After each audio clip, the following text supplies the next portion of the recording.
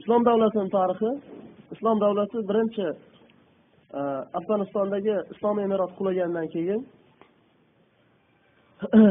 undan keyin amerika askari nimaga kirgizgan iroqqa. Iroqda hech qanaqa jihodiy bo'lim unaqa bo'lganu bitta ikkita bo'lgan lekin jihodiy katta bo'lim bo'lgan emas xuddi hamma yerda bo'lgan singari qisqaroq bo'lgan lekin bir umumiy mujohidlar deb jihod bo'layotgan joy deb tanilgan emas iroq. Saddam husayn diktator bo'lib rofidiylarni ham shiyaylarni bittasi qanaqadir e, nima qilsa hammasini kallasini olib yuborgan karimov rejimida bo'lgan o'ldiradigan bo'lgan. Ular davrida rofidiylar birorta e, ochiq bir ish qilisha olgan emas bag'dodda va boshqa yerlarda iroqda o'zida keyindan keyin amerika kirgandan keyin askarini odamlar ko'pchiligi oddiy bo'lgan shu davrda shu iroqdagi odamlar ko'pchiligi ahli sunna oddiy bo'lgan. Aytganki kofir desa ko'pchilik tushungan asli kofir deb murtad kofirni ko'pchilik bilmagan. Hozir ham ko'p musulmonlar bilmaydi murtad kofir qanaqaligini shartlarini bilmaydi. Kofir desa faqat asli kofir tushunadi yahudiy tushunadi yoki nasroniy tushunadi. Xristianlar shu amerikan askari kirib kelganda mana kofirlar keldi endi jihod qilamiz degan. Deb turib bunga qarshi urushgan. Saddam saddamni o'zini hukumati ham urushgan boshqa boshqalar ham urushgan. Qisqasi unga qarshi amerikaga qarshi hamma urushavergan shu iroqda. U vaqtda birorta bir tanzim ham bo'lgan emas davlat ham bo'lgan emas. Keyin shayx abu musab zaqoviy bu kishi ishga qarab ketdida bola ko'taribchi bu kishi urdunni zarqo degan shahridan bo'lib bu kishi kelib tavhid jihod katibasini quradi iroqda tavhid va jihod degan katibani quradi. Qurgandan keyin abu muso zarqoviy e, katibaga odam to'plab bularni manhaji o'zi boshidan to'g'ri bo'ladi. U abu muso zarqoviy keyingi davr mana bu tumaloq pechati bor bayroq bo'lgan emas afg'onistonni bayrog'i bor la ilaha illalloh muhammad rasululloh ichiga shuval shuval yozilib ketgan shu bayroq bo'lgan.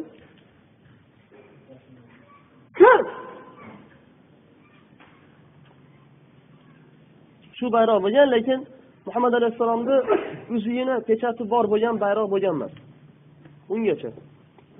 Keyin shayx shu bayroqni e, tavhid va jihod degan katibani qurib turib shu bayroqni o'rnatadi. Nima deganda rasulullohni manhaji asosida bo'ladi. Chunki afg'onistondagi jihod qilayotgan odamlar yoki boshqa boshqa yerlarda ko'p jihod qilib yurgan jihodiy bo'limlarni ko'pchiligi hammasini aytmayapman. Ko'pchiligi manhaj asosida bo'lgan emas jihod desa bismillah jihod deb bilgan shuni bilgan. Ko'pchilik manhajga qaytgan emas rasulullohni manhajiga qaytgan emas shayx abu musab zarqoviy bu kishi kelib turib aytganki biz rasulullohni manhaji asosida yashaymiz. Bu uzugi bo'lishligi rasulullohni uzugini pechati bo'lishligi bayroqda bilasizlar buni oldin forsga rumga rasululloh maktub yozganlarida xat jo'natganda bir sahoba aytadi pechati bo'lmasa qabul bo'lmaydi deydi shu ana shu davrdagi shohlar pechati bo'lmasa qabul bo'lmaydi sizni ham bir pechatingiz bo'lishligi kerak deydi desa ho'p deb turib shu pechat qildiradi shunda olloh rasul muhammad degan pechati bor. Hozir o'zi bayrog'imizda bor. Ana shu nimani? Uzukka qildiradi. Rasulullohga bir uzuk qildiradi. Shuni pechat qilib bosib turib keyin jo'natadi shohlarga. O'sha kofir diyorlarga risolatni jo'natayotgan vaqtda. Misol uchun payg'ambarlik keldi deb shularga tavhidga da'vat qilayotgan vaqtda shu pechati bilan jo'natadi. Keyindan keyin shayx bu pechatni qo'yib bosishligi bayroqqa rasulullohni manhaji asosida bo'lishligi kerak. Rasulullohni manhajidan chiqqan odam baribir buziladi. Davom etmaydi. Bu narsa jihod jihod deb yurilaveradi lekin rasulullohni manhajidan chiqqandan keyin bu narsa buzuqlikka olib boradi.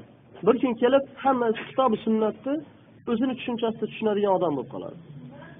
Alloh va rasuli aytgan hadislarni oyatlarni o'zini tushunchasida tushunadigan bo'lib qoladi. Ya'ni rasulullohni manhaji asosida tushunadigan bo'lmay qoladi. Rasululloh sollallohu alayhi vasallam o'zini shogirdlariga qanday tushuntirib bergan qur'onni hadis. Dinni qanday ko'rsatib bergan o'zini shogirdlariga sahobalariga? Xuddi shunday tushunishda tushunishligimiz kerak. Agar bundan chiqadigan bo'lsak biz yutkazamiz deb turib tavhid va jihod katibasini quradi shu katibani qurishlikni asl maqsadi ham nima sababdan jihod deb qurmaydi? Chunki tavhid deb quradi. Birinchi tavhid keyin jihod deydi. Tavhid bo'lmasdan jihod bo'ladigan bo'lsa buni oxiri yaxshi emas baribir. Shart ikkiga bo'linadi keyin bir biri bilan urushaveradi shunaqa bir o'rni yo'q jihodga aylanib qoladi. Deydisa umumiy shu bayroqni olib chiqadi. Chiqqandan keyin bular qisqasi jihod qilib yurishaveradi hamma jihodiy bo'limlar. Ba'zilar bilganlar kofir desa faqat amerikani askarlarini biladi. Shu bilan urushib yuradi. Ba'zilar bilganlar shayx abu musa zaqoviyni katibasi biladiki kofirlar faqat asliy kofir emas murtad kofirlar ham bor. Deb turib bular maqsadi birinchi chiqqan kundan bular eng katta hadaf bilan chiqadi. Bularni bizni maqsadimiz faqat amerika emas. Shu orada butun atrofdagi odamlar qo'liga qurol oldi shundan foydalanib turib biz tavhid jihodni shu rasulullohni manhaji asosida davom etamiz deb turib shu bayroq bilan chiqadi chiqqandan keyin bular o'zlari bir yil mobaynida maxfiy e, uchrashuv o'tkazishadi. Mujohidlarni nimasi bilan? Hilful mutayyibin deb qo'yadi. Ana shu eng mujohidlarni eng kattalari to'planadi. Chunki kim mujohid kim e, mujohidman deb yurgan aka shu orasida ajralib qoladi ko'pchilik orasida. Keyin shu bir yilda maxfiy bir to'planish o'tadi to'planishni o'zi bir yil vaqt oladi. Chunki bir birini tanimaydi bir biriga ishonmaydi haligina ko'rishgandan keyin aytishadi abu muso zarqoviy shunda o'zini narsasini e'lon qiladi. E'tiqodini manhajini e'lon qiladi. Bu bayroqni qo'ydik bu bayroq la ilaha illalloh degan oddiy bayroq bu o'rtadagi oq tumaloq nimasi bo'lganligi alloh rasul muhammad degan muhammad rasululloh deb yozilgan. Bu deydi rasulullohni pechati rasulullohni manhaji asosida yashashligimiz kerak.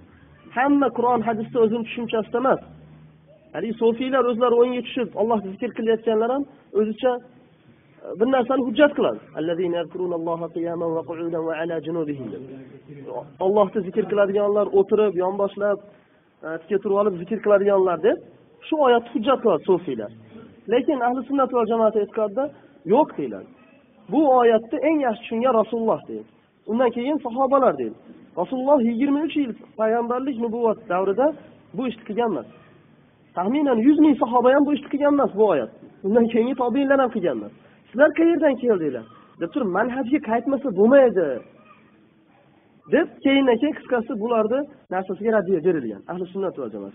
Shuning uchun manhajga qaytiladi deb turib shu manhajini va o'zini dasturini hammasini ochiq shaklda haligi mujohidlarga e'lon qiladi. Kim biz bilan bo'lsa bismillah.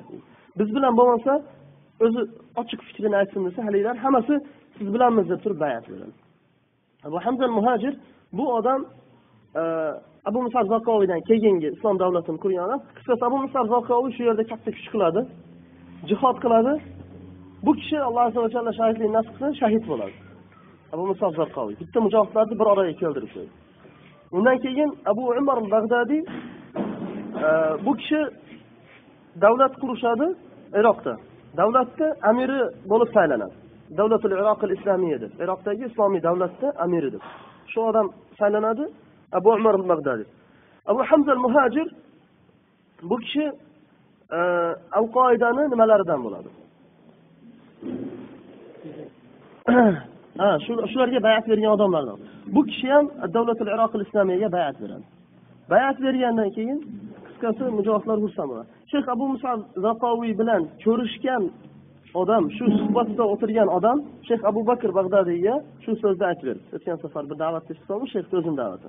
Abu bakr bag'dadiy aytdi men abu musab zarqoviyni suhbatida o'tiruvdim abu musab zarqoviy menga shu so'zni aytganligini eshitdim degan aytgan deydi. Men deydi al qoidaga bayat berishligim al qoidadan biror tangaga ham muhtoj emas edim deydi. Va birorta askarga ham qurolga ham muhtoj emas edim deydi. Faqat musulmonlarni xursand qilishlik uchun va kofirlarni jahlini chiqarishlik uchun bayat berilgan bular bilan. Bayat degan deydi. Ya'ni shu gap shu yerda tugagan undan keyin davlatil iroq islomiya bo'lib abu amar bag'dadiy e, davlat qurgan. Abu hamza muhajir bu odam vaziri harb bo'lgan. Qisqasi islom davlati qurilgan iroqda. Davom etib shunday xizmatlar ketgan. Undan keyin endi shom diyorlarida islom davlatini qanday bo'lib boshlanishligi dira shahrida dimashq past tomonda dira degan viloyat bor. Shu dirada e, yosh bolalar maktabda o'qiydigan bolalar doskaga bashar ketsin bashar yo'q bo'lsin deb shunaqa so'zlarni yozgan bo'ladi. Ko'p rivoyatlar bor. Allohu alam eng to'g'rirog'i shu mashhurrog'i keyindan keyin ustozi keladida haligi bolalarni uradi. Bitta ikkitasini qattiq urib qo'yadi. Keyin ustozlari to'planib kelib turib e, otalari ustozga keladida nima urding? deydi. Deb turib haligilar ustoz urib qo'yishadi. Keyin undan keyin hukumat yetalab hukumat bo'lganda xalq to'planib ketadi shu bilan bir biri bilan urush bo'lib ketadi. Ikkalasi o'rtasida bo'lib ketgandan keyin xalqni otib tashlaydi haligi joyda qabilani kattalari shunga o'xshagan odamlarni otib tashlaydi misol uchun bitta odamni qabilani boshlig'i bo'lsa buni bitta boshqa do'sti bo'ladi boshqa yaqini bo'ladi. Narigilar aytadi qanday buni otib tashlaydi deydi dedi bular chiqadi. Shu bilan boshqa boshqa diyorlarda savro boshlanib ketadi suriyani nizomiga qarshi. Ha. Umumiy mashhur sabablardan shu allohu alam dunyodagi birinchi qanday suriya iroq diyor shom diyorlarida boshlanishligi shu sabab. Shundan bo'lib boshlanib ketgandan keyin keyindan keyin aytadiki mana deydi bizga imkoniyat berildi inshaalloh shom diyorlarida xizmat qilamiz deydi. Deb turib abu musab zarqoviy taqabbalalloh zarqo shahridan urdundan kelgan deydi. Urdundan kelib o'zini atrofiga mujohidlar to'plaganda ko'pchilik qavmiya vataniya degan har xil nimalari bor o'zimizdan chiqmadi deydi. Zarqodan chiqdi urdundan deydi. Urdunli odamni e, amirlik ostida bo'lamizmi deydi. Undan ko'ra deydi e, har xil so'zlar qilgandan keyin e, mujohidlar sho'rosi aytadiki endi deydi bundan keyin bunaqa ish qilmaslik uchun shom diyorini o'zidan chiqaramiz shu xizmat qiladigan deydi. Deb turib abu muhammad julani jabbatu nusron liderini abu yo'q shu shular shu yoqqa nima qilib jo'natishadi? Abu bakr bag'dadiy undan keyin nima ham shahid bo'ladi? Abu ammar bag'dadiy ham shahid bo'ladi abu hamza muhajir ham shahid bo'ladi. Mujohidlar bir davr qattiq qiyin holatlarga ham tushib qolishadi. Abu abu bakr al bag'dadiy amir bo'lgandan keyin davlatul islomiya fil iroq deganda. Shu yerda amir bo'ladi abu bakr bag'dadiy shayx o'zi amir bo'ladi shuroni ixtiyori bilan. Mujohidlar maslahatchisi shundan keyin abu muhammad julaniyni abu bakr bag'dadiyni askarlardan bittasi bo'ladi. Ya'ni shunga bayat bergan shuni xizmatdagi odamlardan bittasini shom diyorlariga jo'natadi. Jo'natishligi davlatul islomiya sham deb jo'natadigan bo'lsa birpasda ko'mib yo'q qilib qo'yishadi. Undan ko'ra nima qiladi? Aytadiki buni boshqa ism bilan boshqa nima bilan jo'natamiz deydi. Deb turib jabhatul nusra ism bilan jo'natadi. Jabhatul nusra ism bilan boradi borib turib o'zini manhajini dinini e'lon qiladi. Yo'lini. Faqat bayroq haligi tumaloq bayroq emas. Chunki bu bo'lsa darrov biladi. Butun dunyo taniydi bu bayroqni rasululloh manhaji degan oq tumaloq pechatni ko'rib qolsa bo'ldi. Bular hech mutlaqo to'xtamaydi. Bular eng yomon. Deydida qisqasi bular al ham bayrog'i bilan chiqib kelishadi. Al qoidani bayrog'i bilan chiqib keladi. Chiqib kelib turib atrofiga odam to'playdi. Juda ko'p odam to'playdi. Muaskarotlar katta xizmatlar qilganda jabhati nusra butun islom olamiga adolat bilan mashhur bo'ladi. Bo'lgandan keyin hamma bunga nima qiladi? Qo'shiladi. Qo'shilib bayat berib boshqa har xil janshirdlarni ichidan yaxshilari ham chiqadi. Tavba qilib misol bularni ichiga. Ko'pchilik ko'pchilik kelib bunga katta kuch bo'lgandan keyin keyin shayx shom diyorlariga ziyoratga o'tadi. Shayx abu bakr al bag'dadiy o'zlari jo'lanib ziyorat qilgani o'tadi. Shom diyorlarida nimalar bo'layotgan kelsa xunuk muomalada bo'ladi. Jo'lani boshqacha muomalada. Misol uchun bitta odamni odam taniydi qanchadan beri suhbatda bo'lgan lekin kelsa oddiy samimiylik emas. Balki shayx yaxshimisiz sizimisiz sog'ligingiz yaxshimi charchamayapsizmi? Biz sizni buyrug'ingizdamiz anaqa paxta yaltiroq so'zlarni ko'p gapiradi. Men tushunmadim. Bunchalik muomalada bo'lishi nima sababdan? Deydi. Chunki taniydi oldindan qanaqa munosabatda bo'lganligini endi kelsa boshqacha paxtalar so'zlar bo'lyapti. Keyin indamayapti men e, chiqib bitta ikkita nimalar bilan ko'rishaman. Deydi. Desa shayx sizni amniyatligingiz biz ishonmaymiz. Hozir chiqmaganingiz yaxshi. Siz shu yerda turishingiz kerak. Qanaqa ishingiz bo'lsa sizni ishingizni bitiramiz bu narsalar deb turib bitta xonaga qamab qo'yadi eshik tagiga qorovul qo'yib qo'yadi. Shayx ichkarida o'tirib qoladida men tushunmadim. Bu yerda kimman? Menmanmi buyruq? Amir yo bumi buyruq? Deydi tashqaridagi ikkita qorovulga aytadi men deydi chiqib ketaveraman deydi. Ishing bo'lishmasin men bilan borib turib muaskarotlar qandaydir bir narsani sezib qoladi. Shayx shu yerda sezdi deydi. Bu so'zni kim aytib berdi abu luqman abu luqman degan amniyatchilarni islom davlatini amniyatchilarni amiri aytib bergan ekan bu so'z. Hozir aytib berayotgan narsa. Chiqadida muaskarotda eng katta amirlari shariat eng katta amirlari e, shayxni taniydigan bo'ladi. Bu ish juda maxfiy darajada sekretu mujohidlar ichida. Lekin bu ishda eng katta amirlar biladigan bo'ladi. Eng katta amirlari keladida hammasidan bayatni boshlayapti yangilaydi shu yerda bu yerda bir narsa ketyapti. deydi bayatni boshqaryapti. Haligidan ko'rib shayx taniydi boshqalardan ko'rishadi. Bayatni yangilab bayat berishadi. Shayx bayatni qabul qiladida keyin ketadi. Kelib turib maslahat qilib turib shariat bilan jihod e'lon qilib tashlaydi shu bilan. O'zi jihod bo'layotgan shariatni ochiq e'lon qiladi. Undan keyin e, ahli shuro maslahat qilib turib xalifalikni e'lon qilib tashlaydi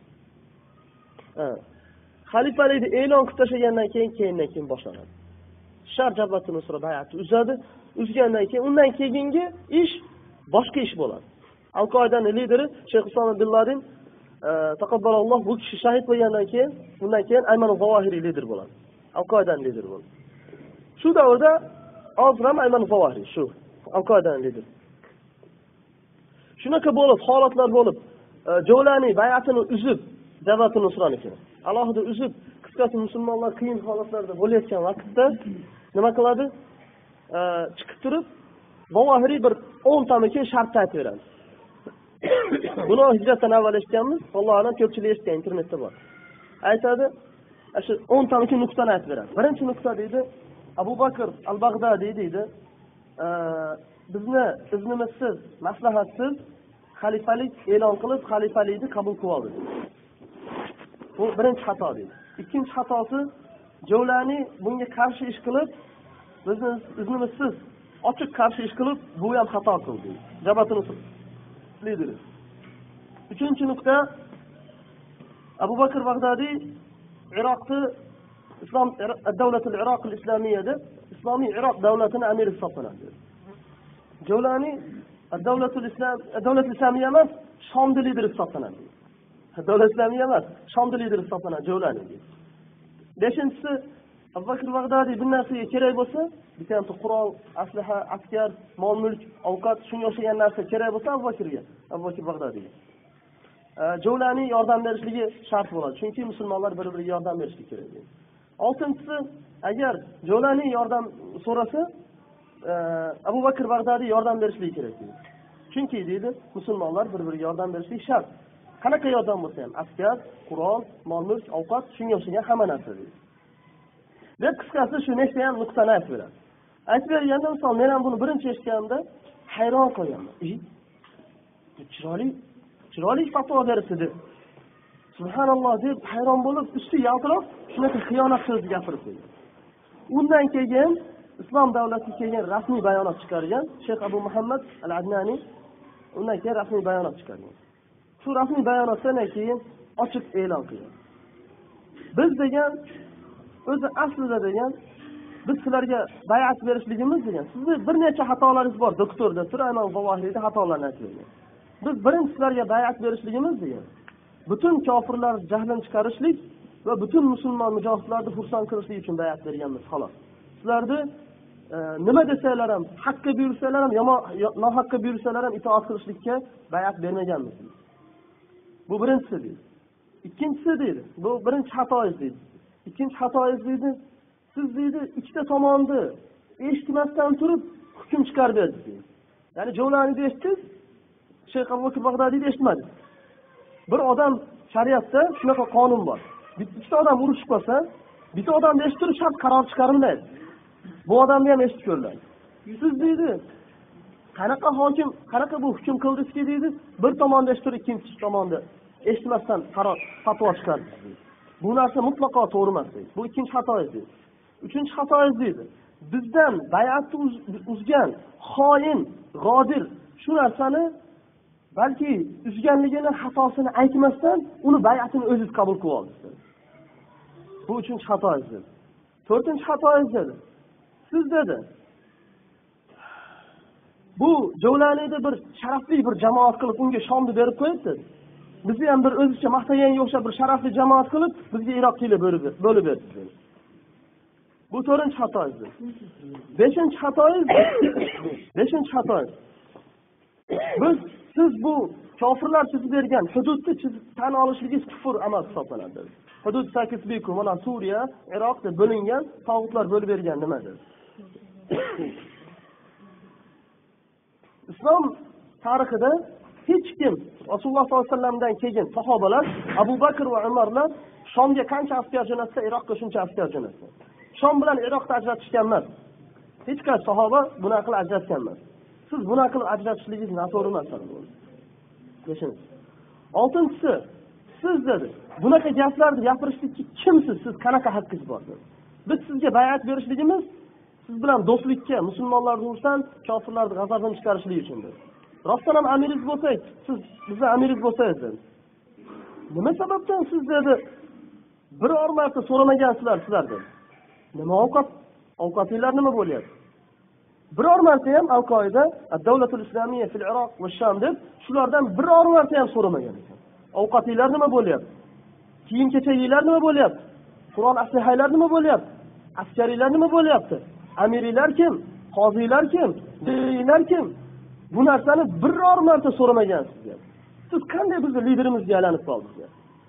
Aslida deyapti davlat turganda tanzim davlatga bo'yin egadi siz dedi jovlaniy xoin g'odirni bay'atini qabul qilib oldingiz siz asli bay'at qabul qilishlikka haqli odam emassiz dedi. Nimaga? Chunki siz ustingizda bay'at bor mulla umarga dedi.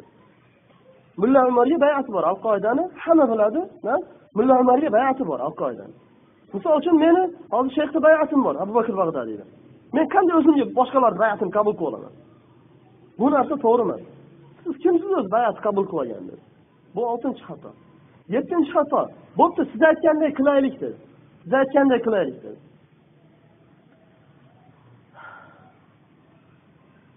Qanaqa qilib bo'lishamiz bu askarlarni bitta askar menga bitta askar senga dedi. Jo'lani bilan bag'dadiy talashamizmi dedi.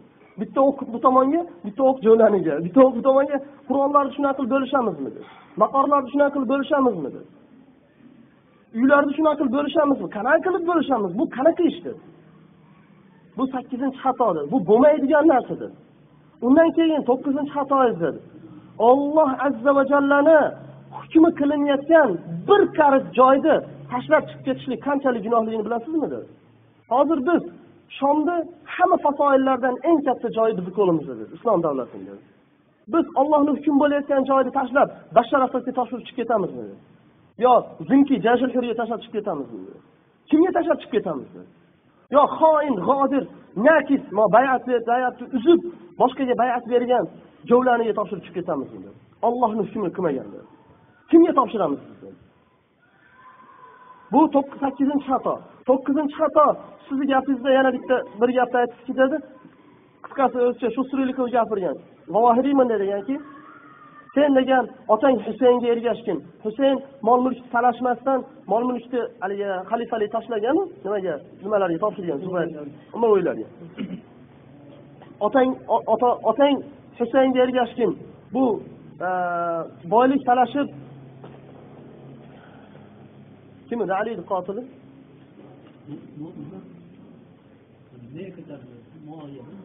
yo'q alini qotili ibn muljim. Ibn muljimga ergashmagin degan. Ibn muljimga o'xshab qolmagin degan. Siz aytganingizni qilsak dedi ollohni hukm bo'layotgan iroqni e, shomdagi joylarimizni tashlab turib chiqib ketsak dedi. Iroqqa chekilib chiqib ketsak dedi. Biz husaynni nevaralariga aylanib qolsak dedi. Biz shom diyorlarida ollohni hukmini qilsak dedi. Darrov ibn muljimni nevarasiga aylanib qolsak dedi ollohni hukmini qilsak dedi bu qanaqa shariat bu qanaqa hukm dedi o'ninchisi dedi ollohni hukm bo'layotgan bir karit joyni tashlab chiqib ketishlik dedi mingta husaynni kallasini olishdan katta gunoh dedi bir karit joyni tashlab chiqib ketishlik ollohni hukm bo'layotgan joy. Mingta husaynni rasulullohni nevarasi husaynni kallasini olib tashlagandan ko'ra yomon qattiq gunoh dedi balki u jannatlarni yigitlaridan hisoblanadi. Jannat ahlini yigitlaridan hisoblanadi. Dedi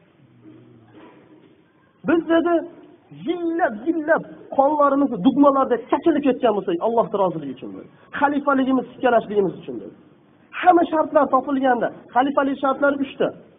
Nima shartlar? Anaqa davlat shartlari. Birinchisi tamkin yeri bo'lishligi kerak. Ikkinchisi xalqi uchinchisi qurol aslahat o'ziga yarasha himoya qila oladigan shu shartlar hamma xalifalik shartlari topilgandan keyin. Bu narsalar topilgandan keyin bu kunni biz biror kun orqaga qoldiramizmi degan. Bu o'ninchi xatoyingiz degan. O'n birinchi xatoyingiz biz olloh uchun malomatchini malomatidan qo'rqmaslikka bayat berganmiz. Biz bilan hozirgi sizlarni o'rtangizdagi doktordir sizni o'rtangizdagi farqdir faqat bu voliy bo'lib qoldi bu voliy bo'lmadi. Narigi voliy bo'ldi bu voliy bo'ldi emas. Sizni aqidangiz buzibdi. Pokistonda askarini misrda askarini saudiyani askarini kofir demasdi. Dusturini dustur fasid deysizlar buzuq dustur deysizlar unaqa gapga haqqingiz yo'q dedi. Yo musulmon dastur dedi yo kofir dustur deysizlar yer yuzida uchinchi dustur yo'q? Buzuq dustur degan bir o'rtada bir anaqa e, o'rtamchi dustur yo'q dedi. Aniq kofir siz kofirni kofir demaysiz shu xatoyingiz bor. Shu xatolaringizni to'g'rilang sizni aqidangiz buzuq dedi. Alqoida kechagi alqoida emas. Alqoida ikkiga bo'lingan. Shayxni davridagi usoma bin davridagi alqoida manhaj asosida bo'lgan. Ammo undan keyingi vohiriy o'tirgandan keyin al qoidani lideri buzib adashgandan keyin aqidasi buzildi. Shiiylarni iroqdagi mushrik najas ollohdan boshqadan madad so'raydigan mushriklarni sizlar kofir demaysizlar nimaga desa johillik bilan uzrlik berasizlar. Olimlarini kofir deysizlar ammo johillarini nima? Johillik bilan uzrlik berasizlar. Alloh azza vajalla qur'onda ochiq qilib aytmaganmi? Olloh unga shirk keltirganni kechirmaydi. Kechirmaydi degan ochiq aytgan. Agar bilmay qilsa johil kofir bilib qilsa olim kofir bo'ladi farqi yo'q islom dinini chiqadigan islom buzuvchi amalni qilsa kofir bo'ladi ochiq ollohdan boshqadan madad so'raydi husayndan alidan fotimadan bular aniq mushrik kofirlar bularni e, johillarni kofir demaymiz narigilarini olimlarni kofir deymiz unaqa gap yo'q rasululloh sollallohu alayhi vasallam heraklga haj jo'natganlarida bitta haj jo'natgan yuz ming askariga bular ham bilmayapti hozir bularga bittadan haj jo'natish kerak deb o'tirgan emas bitta haj jo'natgan herakl tomonidan musulmonlarga qarshi chiqsa hammasini kallasini olgan sahobalar joni ularni joni ham juda qimmat edi. Dinni eng mukammal bilganlar shular edi. Rasululloh to'g'ridan to'g'ri sahobalar siz biz bu xalifalikni e'lon qilganligimizda butun islom ummati xursand bo'ldiki bundan oshiqcha xursand yo'q edi yo'q edi deydi.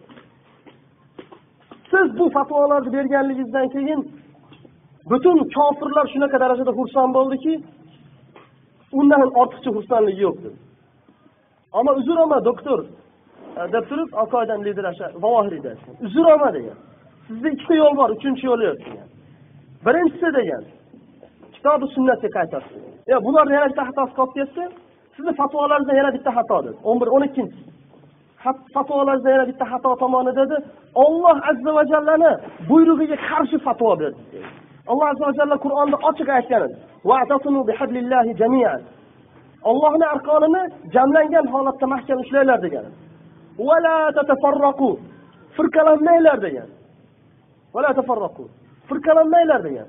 Birinchisi jamlaninglar degan. Birinchi buyruq bo'lsa ikkinchisi firqalanmanglar degan ikkinchi buyruq ollohni ikkita buyrug'iga qarshi siz birlashganni bo'ldingiz bo'linganni mashaalloh bayatini qabul qilib oldi bu narsa eng katta xato hisoblanadi alloh azza va jallani ochiq hukmiga ochiq qarshi ochiq hukmni berdi siz qanaqa odamsiz iroq bilan suriyani ajratasiz hatto rofidiy mushrik najaslar eron bilan iroq tomonni chegarasini bilmasdan bejiga qancha kofirlarni jo'natyapti nimalarni generallarini jo'natyapti musulmonlarni nimasiga qarshi mujohidlarga qarshi hozir eron shunday bejiyda shu eronni askari deydi bu narsani butun olam bilmaydi hatto butun kofirlar bilmayapti musoriyalar bilan rofidiylar birlashib butun kofir olami hammasi birlashdi. Chegarasini tan olgani yo'q ular. Nimaga? Islom davlatiga rasulullohni manhajiga qarshi urushyapti xolos bu yerda boshqa narsa yo'q. Agar rasulullohni manhajidan chiqib mushrik bo'ling yuraverasiz. Yuribdi ana shunchasi yuribdi. Ammo rasulullohni manhajini ushlagan odamlarga butun saudiya ham birlashdi urdun ham amerika ham rossiya ham yevropa ham hamma hamma hammasi birlashdi.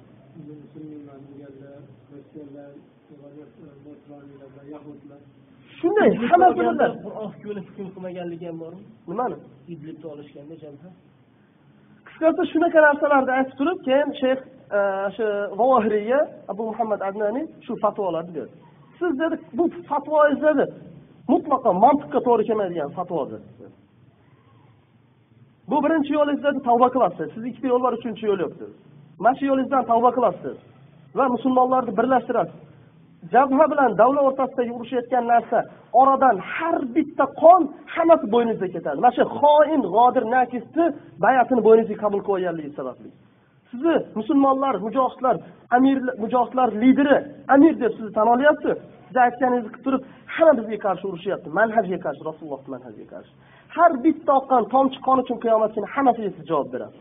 Qancha davom etsa birinchisi siz tavba qiling dedi tavba qilsangiz alloh azza va jalla tavbani qabul qiladi. Dedi alloh tavba qiluvchilarni yaxshi ko'radi. Dedi tavba qiling dedi bu birinchi yo'l dedi ikkinchi yo'l dedi shu zalolatingizda davom etasiz. Dedi davom etasiz sizni butun tarix la'natlaydi.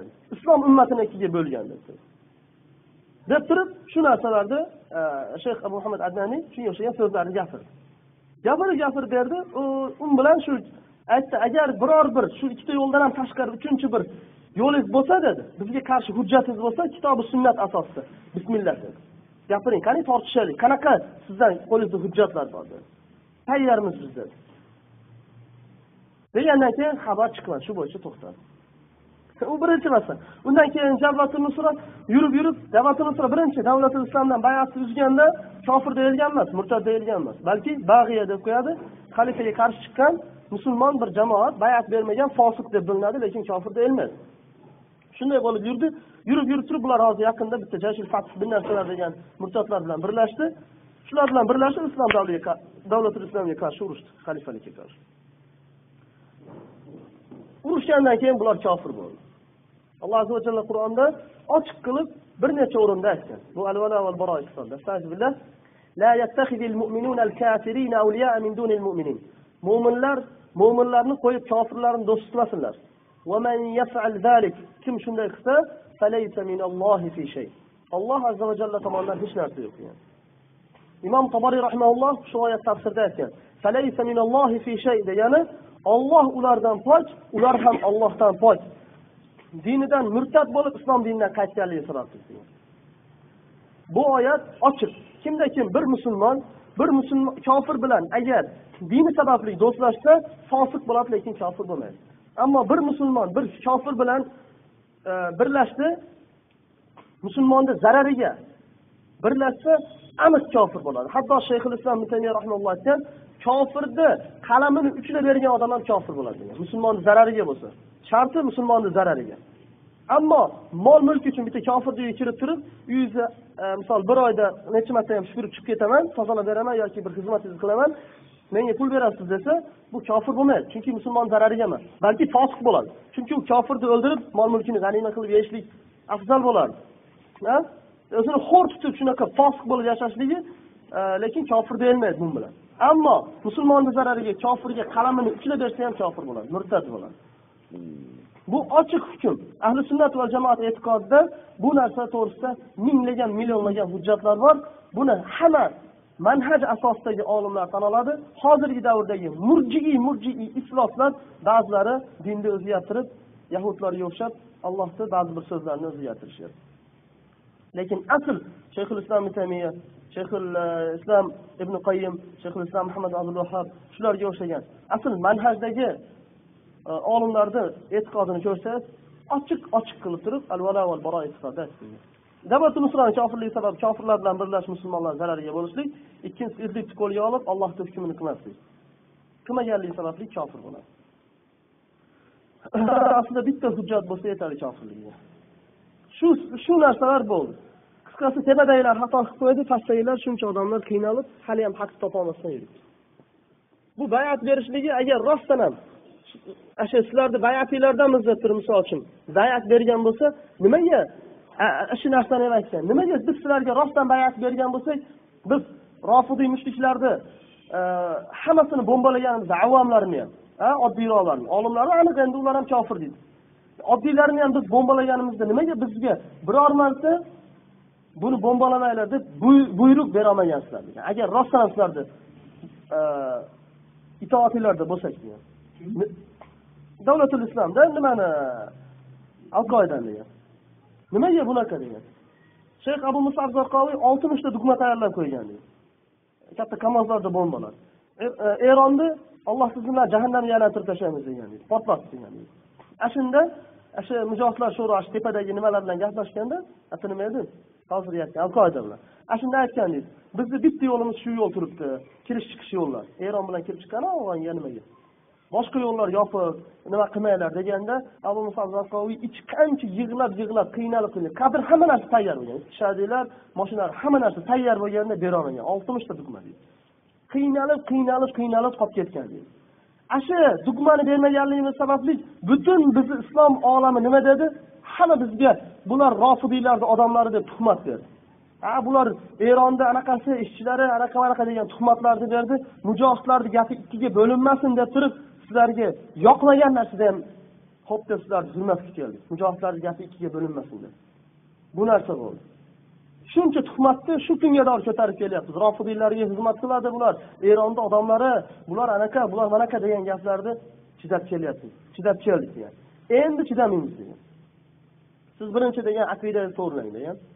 Aqidangiz alloh va rasuli kofir deganni kofir deyish kerak. Islom buzuvchi amal qilgan odamni kofir deyishligingiz kerak degan. Deb turib shu narsalarni gapirganda shu doktor degangiz qayerda bo'ldi iroq bilmaymi doktor. Aqoidan liderimi misrlik ayman favohi ayman favohi somizullahdin yonida odam bo'lgan somizullahdin qiyin holatlarda shahid bo'lgandan keyin eng katta amirlardan shayxdan keyingi yil odam bo'lgan undan keyin? Bular o'zlari saylab qo'ygan undan keyin yana bitta gapi bor aytganki ikki yil avval o'lib ketgan liderga amirga bayat berishlikka aytishsiz degan. Ikki yil avval. Mulla umar ikki yil avval o'lib ketdi keyin aytishyapti xalifalik chiqqaniga bir yil to'rt oy bo'ldi. Demak butun xalqlar sizda ikkita yo'l bor degan. Birinchisi degan o'lik. O'likka bayatga bizni chaqirgansiz degan. Bu birinchi xato degan. Agar bu bo'lmasa siz bilmasdan nima sababdan bayatga chaqirgansiz? Agar rostdan bilmasangiz degan. Bu ikkala tomoni ham sizni xatoingiz degan. Sizlar dinga xiyonat qilgan odamsizlar degan. Islom ummatini ikkiga bo'lgan odamsizlar degan. Haqiqatdan hozir ko'pchilik jabati nusra desa o deydi kofirlarga qo'l bergan musulmonlar zarariga bo'lganligidan xabar yo'q. Shunchalik nima deydi shunchalik. Alloh va rasuli kofir degani kofir deyiladi. Jabatu Nusra oldingi ismi maxfiy ravishda jabatu Nusra ismi bilan ishlagan Shom diyorlarida. Keyin davla bo'lib Buni eng katta amirlar bilgan, ko'p pastaylar ko'pchilik bilganlar. Keyinchalik davlat islomiya bo'lib e'lon bo'lgandan keyin keyin bu narsa oshkor. Unga davr faqat amirlar bilgan, pastaylar bilganlar. jabatu Nusra bilan xizmatga ketganmiz